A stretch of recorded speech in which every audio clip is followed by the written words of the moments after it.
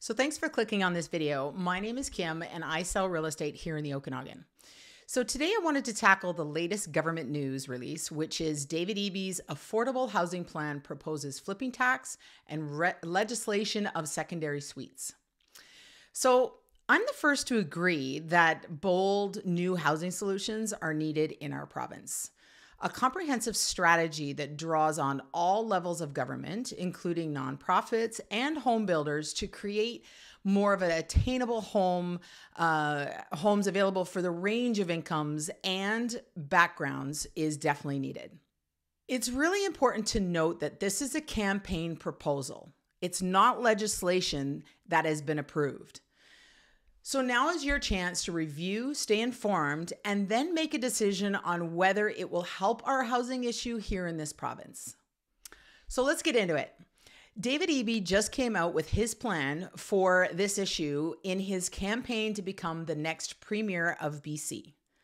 However, before any of this can come, become a reality, Eby will need to convince the NDP members to make him the next leader of their party and the next premier.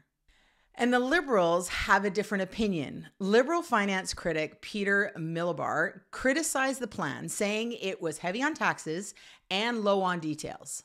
He also noted that home zoning and decisions around secondary suites right now largely fall in the municipalities.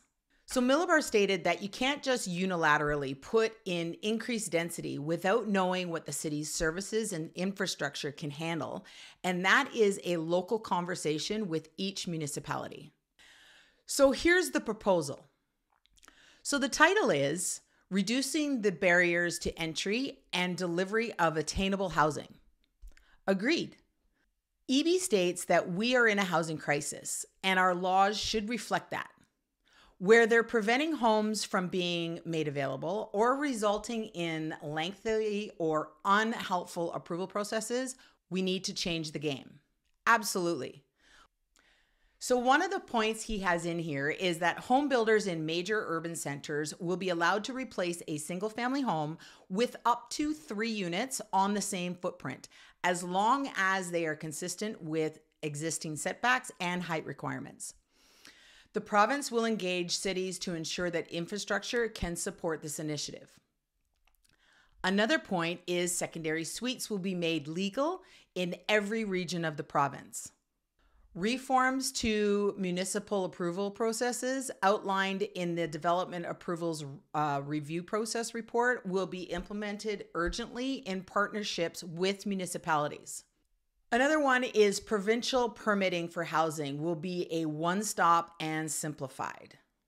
So here's an interesting one. Strata restrictions on rentals will be removed in his proposal, and stratas will be giving uh, will be given the ability to appear easily at the residential tenancy branch to address any health or safety or quality of life issues caused by tenant behavior that are not addressed by the unit owner at the cost of the unit owner.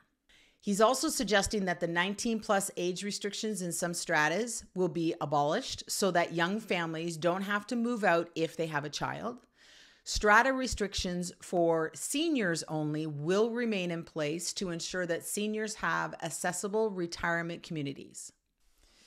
So, Another one is municipalities' housing need plans will be used to set minimum standards for housing delivery, with municipalities exceeding targets rewarded with additional community amenity support, and those failing to hit targets supported through provincial uh, intervention to meet growth demands. Short term rentals. For those of you thinking about short term rentals or Airbnb, this proposal is about rental companies or short term rental companies being required to provide cities and regions with information about unlicensed short term rental units in their community, empowering them to balance the needs of accommodation for tourism and accommodation for residents that uh, works for their local needs. Another section of this report is called Leveling the Playing Field. So, Eby suggests that big and small investors alike are using the housing shortage to make excessive profits through short term flipping.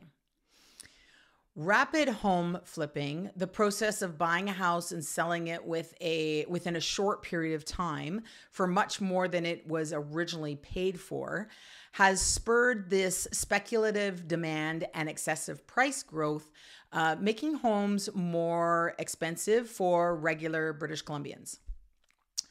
They want the investments to be long term rental housing, but they don't want BC or British Columbians competing in the resale market with flippers. So they want to use the data collected on the real estate sales and returns to construct a flipping tax to discourage this kind of activity. So, in my experience, most of the people that I've worked for for finding a flipper house um, are average people and they want to use their time, skills, and money in order to renovate a home. They want to fix items left unattended by the, a previous owner. They want to modernize the look, uh, replace major items like furnaces and roofs, therefore bringing the market value up. And uh, the purpose is to resell it for a small profit. Now, it's important to note that the last two years of uh, this massive property value increases due to COVID have impacted how much some people can make. However, this also isn't a normal market behavior. Another important note is that these homes that need a lot of work done are not desired by the average buyer. Many buyers I've worked with uh, don't want to do the renovations. They would rather find a home that is already completed and they're willing to pay uh, for that work already being done. So here's the proposed BC flipping tax. A flipping tax will apply on a sale of a residential property. The tax rate goes down to zero the longer the property is held. So the tax will be the highest for those who hold properties for the shortest period of time.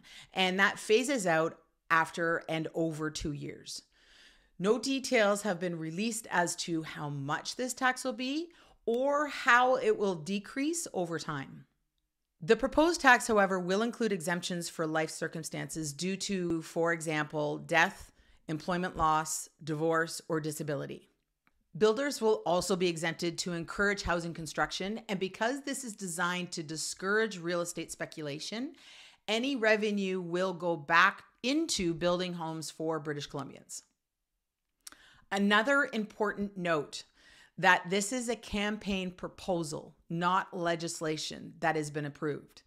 So please review the information, stay informed, and then make a decision on whether you feel it will help the housing issue here in this province. Let me know what you think down below in the comments whether you think this will help the current housing issues here in BC. Please go ahead and subscribe and click the like button for that YouTube algorithm and check out my video on moving to Kelowna before you go. And I'll see you again in the next few days. Thanks for watching.